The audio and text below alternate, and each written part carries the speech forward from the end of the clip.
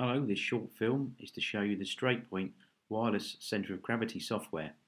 This software connects to any of the StraightPoint wireless compression load cells and will work with up to 30 load cells. The opening screen gives you guidance on the layout of load cells for any lift. In this instance we have four load cells, one, two, three and four and here you can see a datum and then x and y coordinates between. This software will allow you to enter the coordinates either by a measurement value in meters or feet or using GPS coordinates. Okay, we're ready to go. Let's configure the system. So we click on configuration and here you can see all of the units and the measurements and the other parameters that we can set in.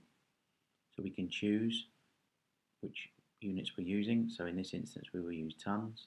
But you can select kilograms, pounds or kilonewtons. You can then format the resolution and the readability in kilos, tons, pounds and kilonewtons. Here you can format the measurement. If we're going to be using meters, let's go to the nearest 10 millimeters. If you want to use GPS coordinates, you can format how these will read in these boxes here. And lastly, you can enter a company name for the test to appear on the top of the reports.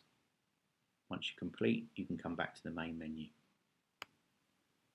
So the software is configured. We can now enter new test and configure and select load cells. Within this screen you'll see a number of free entry fields and some selectable boxes.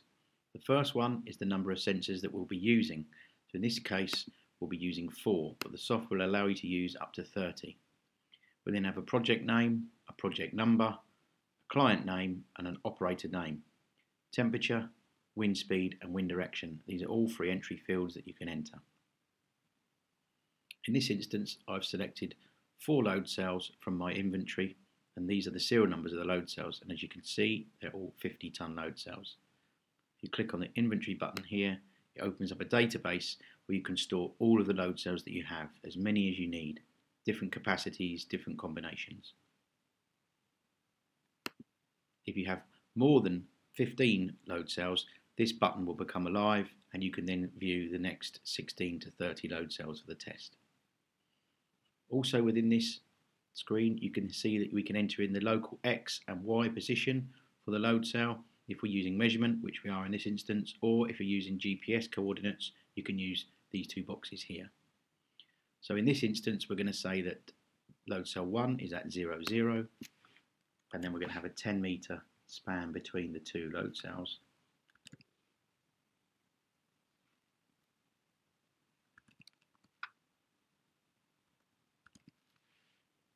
And then we'll go back to the main menu. So the system is set up and the load cells are configured. We can now view real time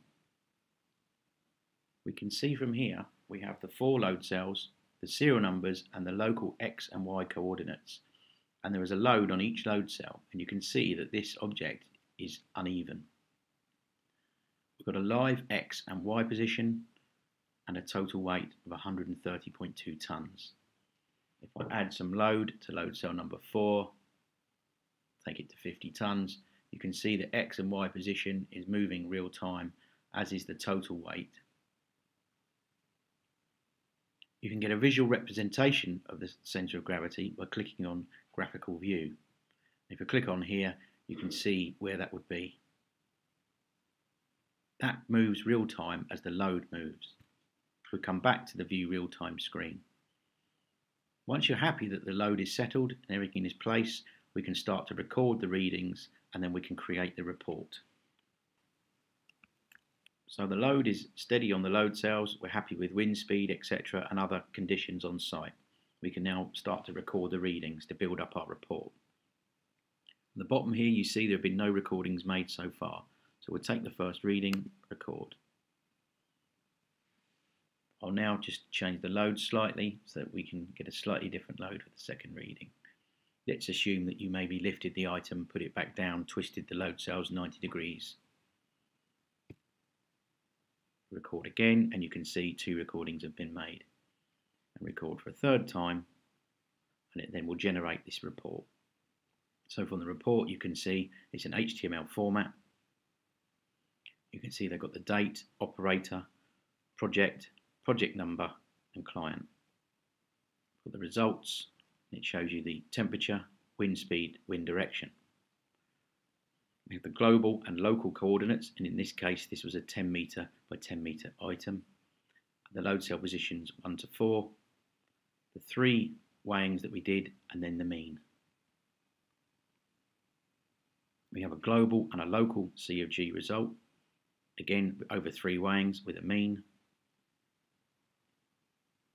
and then your statistical analysis at the bottom here.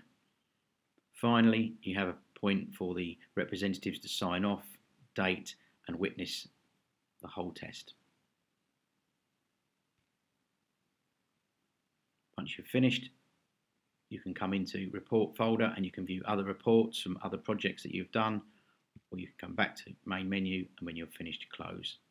And that is the wireless center of gravity software with a 30 channel capacity. So there is the StraightPoint 30 channel wireless centre of gravity software. You can see why this software is popular in the heavy lift, machinery moving and fabrication industries. For more information, please check out our website straightpoint.com. Thank you.